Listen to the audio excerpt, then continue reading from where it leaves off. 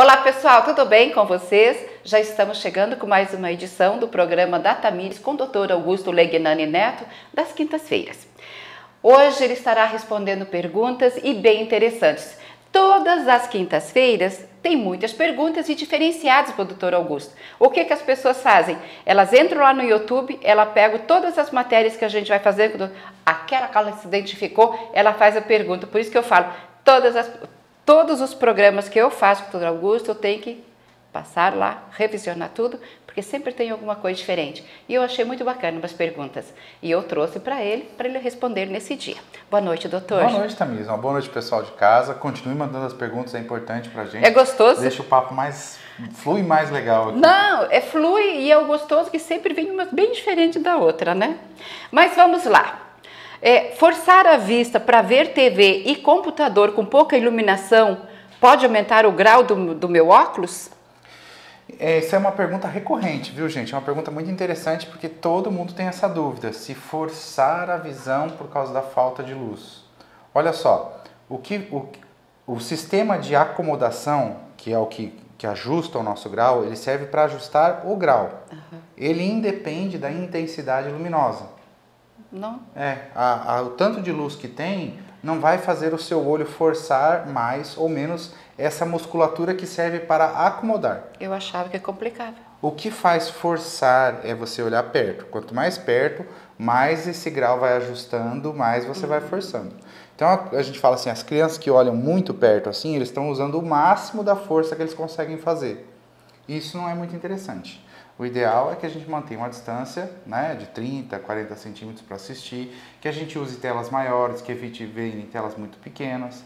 Isso antes dos 40 anos. Depois dos 40 anos, a nossa capacidade de acomodar cai, por isso que a gente começa a usar os óculos multifocais. Então, depois dos 40 anos, ou pessoas que passaram por cirurgia, aí não vão estar mais usando essa acomodação. Então, o, o, a distância que ela vai ler depende do óculos dela. Quanto melhor o óculos, mais perto. Quanto mais fraco, mais longe. Então, esta força é acomodativa. Uhum. A intensidade luminosa não influencia o tanto de força. Então, assim, ah, ler com pouca luz faz mal? Não. Pode dar dor de cabeça? Pode. Por quê? Porque num ambiente de pouca luz você tem que fazer um esforço extra. Mas não é um esforço visual extra, é um esforço cognitivo. Ah. Você tem que interpretar aquela imagem com um contraste menor. Hum. Tá? Mas não é o esforço da musculatura do olho. O esforço da musculatura do olho depende da distância em que você olha. Quanto um pouquinho mais longe, melhor. Quanto mais longe, menos força. Quanto mais perto, mais força.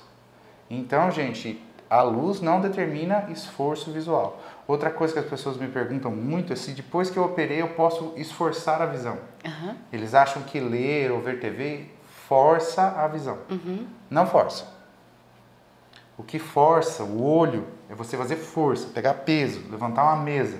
Aí você faz uma força, que você faz aquela manobra de valsalva, quando você tranca assim a força, a respiração para fazer força. Que interessante isso. Aquilo eleva a pressão intraocular Não. e pode alterar a sua cirurgia. Uhum. Agora, ler, ver TV, tem problema nenhum. Não inflama o olho, nada. Sabe, doutor Augusto, você falando assim, é, a gente fica assim já com ponta interrogação, né?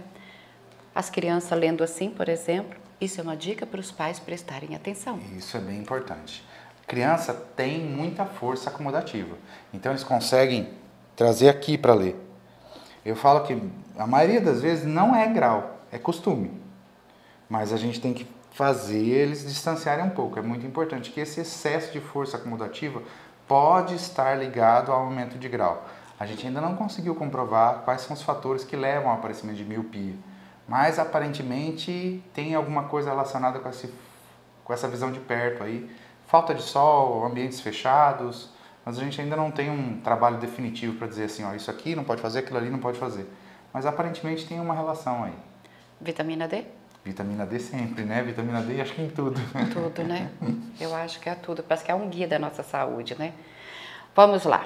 Eu acho que eu tenho o olho seco, doutor Augusto. É melhor eu colocar água boricada ou só lavar com água já resolve? Olha, olho seco ele é, um, ele é multifatorial. Olhos, a camada de lágrima, ela tem mais... É, a lágrima não é só água. Ela é água, proteína e lipídios. Porque ela é salgadinha. Isso. Então, é. ela, ela, é um, ela é um conjunto de coisas. ela precisa da proteína para que ela fique distribuída uniformemente. Uhum. Quando você joga água no chão, ela tende a formar poças. Existe uma coisa que se chama tensão superficial da água. As moléculas de água tendem a se agrupar. A gente tem que diminuir essa tensão superficial para que ela possa ficar esticada por toda a superfície da córnea.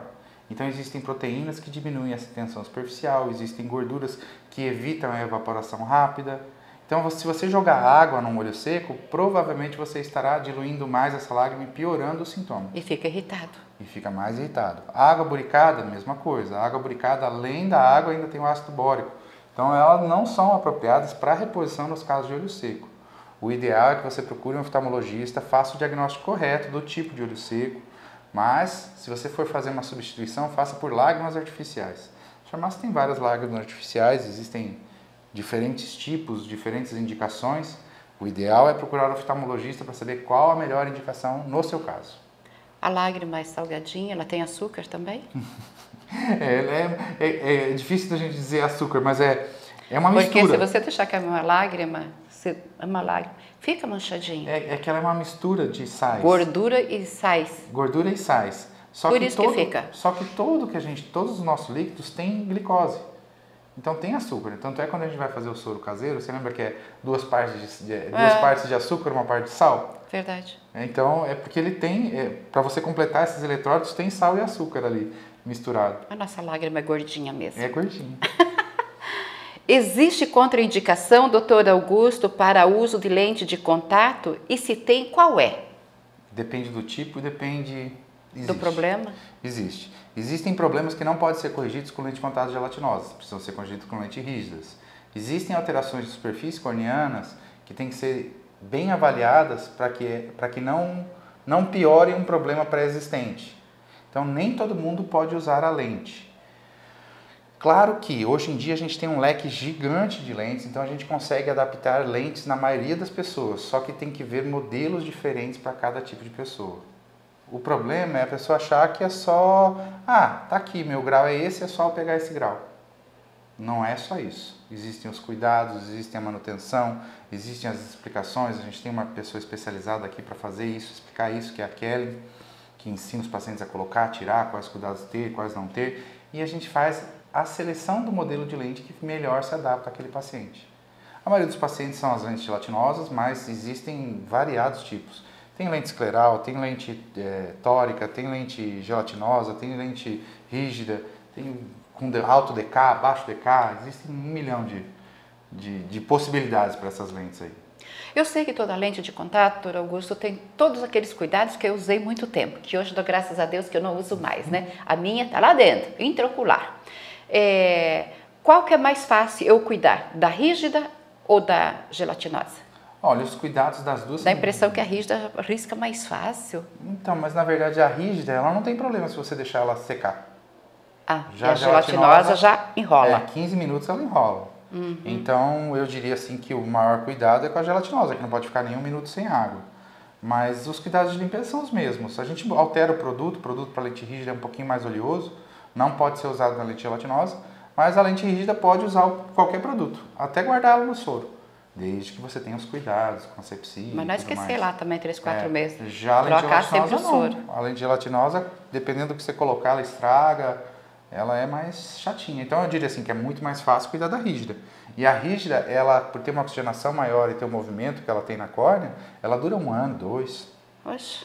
Ah, é. Diferente da gelatinosa. Verdade. Doutor, eu, eu, preciso fazer cirurgia de catarata, mas eu gostaria de saber o que, que é falcoemulsificação. Isso é interessante. Ó, é, existem várias técnicas para você aplicar. Né? A primeira técnica que, que existiu para retirar de catarata a gente chamava de intracapsular. Uhum. Intracapsular é porque o cristalino fica dentro de uma cápsula, um saquinho capsular. Aí naquela época a gente não conseguia fazer a microcirurgia, a gente grudava um, uma ponteira de crio que congelava o cristalino e arrancava tudo. Essa era intracapsular.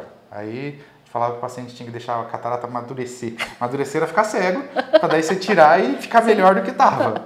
Então, naquela época, era uma cirurgia muito complicada. O paciente ia ficar de rosto para baixo três dias, ficava internado, fazia anestesia geral. Era toda uma complicação. Aí nós evoluímos, evoluímos para a cirurgia extracapsular, onde a gente abria esse saco capsular na parte anterior, deslocava o cristalino e arrancava ele inteiro. Aí tinha que ter uma incisão maior para conseguir arrancar um cristalino inteiro, que tem 12 milímetros. É praticamente toda a parte superior do olho. E daí tinha que dar vários pontos. Se o paciente fizesse força, a hérnia saía, saía uma íris, fazia uma hérnia de íris, aí saía, é, ficava um olhinho de gato. É toda uma complicação também, tinha muito cuidado, não pode baixar, não pode não sei o quê, porque qualquer coisinha tirava tudo do lugar ali. E agora evoluiu para a cirurgia de técnica de facoemulsificação. Agora, mais recentemente, com a evolução das lentes, foi a facoemulsificação com microincisão. Facoemulsificador é um aparelho, ele é um aparelho grandão. E, só que o que a gente usa durante a cirurgia é uma caneta, uma extensão dele que é uma caneta. Essa caneta tem uma ponteira e essa ponteira ela é aspirador, ela aspira e ela, ela se movimenta, tem uns cristais dentro dela que faz com que ela se movimente numa velocidade muito alta e que emite umas ondas de ultrassom. Então, essa caneta, quando ela se aproxima do núcleo do cristalino, ela desfaz o cristalino. Ela vai cavitando, vai fazendo buraquinho e vai cavitando e aspirando. Então, uhum. com essa caneta a gente consegue ir desfazendo o cristalino. E a gente usa de técnicas de fratura, quebra, para a gente ir quebrando ele em pedacinhos e aspirando todo o cristalino ali dentro do olho. Como a gente aspira o cristalino dentro do olho, a gente consegue fazer só com um buraco que passe a ponta da caneta. Esse buraco, que é a microincisão, tem 2,2 milímetros. Mais ou menos isso? Bem. Bem pequenininho. Bem. E por ser tão pequeno, ele é autocelante. Você tirou a caneta, ele não vaza mais. Então, a gente, na maioria das vezes, não precisa dar nenhum ponto nessa cirurgia. E por que que agora teve que evoluir a lente para a gente poder usar a microincisão? Porque a lente tem que entrar pelo mesmo furo, né? Não adianta nada eu fazer com um furinho assim e depois querer colocar uma lente que é um discão, né? Vai ter que abrir, daí não adiantou. Verdade. Não tinha porquê. Agora as lentes, elas vêm, elas dobram e a gente coloca ela com um injetor, uma pontinha de caneta, 2 milímetros, ela entra dentro do olho e ela se abre lá dentro. É muito interessante isso, gente. É, é muito é, bonita a cirurgia. O... Agora, espero que ela tenha entendido, né? E que continue fazendo, lógico. Um dia o senhor falou que a visão opaca seria um sinal de catarata. Eu tenho 53 anos e estou sentindo que está meio opaco. Será que já é um indício? Visão opaca em paciente que está com óculos atualizado. Ah, é? É, porque muitas vezes a visão opaca é só grau. E o óculos limpinho. É, e daí às vezes ele não atualizou o óculos e a visão começou a ficar opaca, esbranquiçada. Aí ele vai lá e arruma o óculos e a visão melhora. Então, nos pacientes em que a gente melhora o óculos, deixa o óculos melhor possível, e mesmo assim ele ainda tem a sensação de que a visão está opaca, aí sim, isso é catarata. Quase com certeza, a maioria das vezes, né? Claro, existem problemas de retina, outros problemas, tem que ser avaliado, mas sim, se o óculos é novo, foi recém-feito, você está sentindo a visão opaca, é a catarata. Pode acontecer em pacientes mais jovens, eu já vi pacientes com catarata. Claro, tem as cataratas inflamatórias, infecciosas, aparece com 10 anos, 15 anos, mas eu já vi pacientes com catarata senil de 39 anos. Era uma catarata da idade que apareceu muito cedo. Pode. A minha não foi tão cedo. Não. 39 não. 39 nós já passamos dois, né? É verdade. Doutor Augusto, eu quero agradecer carinhosamente é pelo quadro Saúde dos Olhos que você e a Tamires têm há tanto tempo, está parabenizando a gente e a dona Maria Luísa lá de Guarapuava. E eu que agradeço. Nós estamos fazendo quase bodas de cristal já. Né? é verdade, acho que nós vamos começar a comemorar as é, bodas. Vamos começar as bodas aí depois daqui a pouco. Mas eu quero agradecer carinhosamente esse momento contigo, que é sempre tão precioso e a gente recebe tantos elogios, até a respeito de você falar é, da catarata senil, é isso, uhum. né? É, eu encontrei uma senhora no mercado um dia, eu estava lá pegando umas frutas e ela também, eu para lado de cá, ela para lado de lá. Você é a Tamires, né, que conversa com o doutor Augusto. Eu falei, sim. Daí ela falou assim, é, ele falou que tem catarata que dá em criança também. Ela ficou surpresa com tudo isso.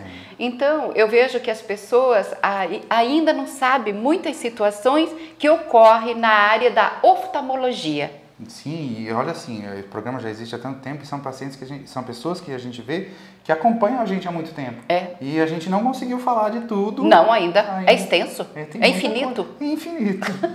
muito obrigada, que Deus te abençoe. Deus abençoe a todos nós. Gente, eu vou ficando por aqui com o Dr. Augusto Legnani Neto, mas nós temos uma matéria agora na sequência com Leandra Cristina Moreira de Souza, paciente da UPECAM, câncer ósseo, ela tem câncer na perna. E vamos conversar com a mãe dela também, a mãe Isabel Cristina Silva Moreira. e ela vai falar do dia, o MEC Dia Feliz, que é uma grande promoção que tem, que já faz 20 anos, que é uma forma de arrecadar dinheiro para comprar aparelhos, principalmente para a área infantil do Hospital do Câncer. Então, eu vou deixar vocês agora lá no estúdio, junto com a Tamires e a Leandra.